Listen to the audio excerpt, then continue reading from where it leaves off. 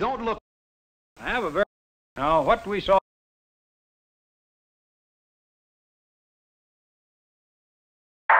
I have a very interesting ticket that I received just recently. It is a ticket for space travel.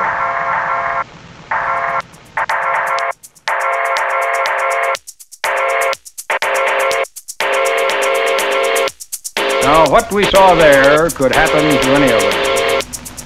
Fortunately, it is the responsibility of the United States Air Force to prevent such disasters. The old... Don't, don't look now, but this motor car is simply full of robots.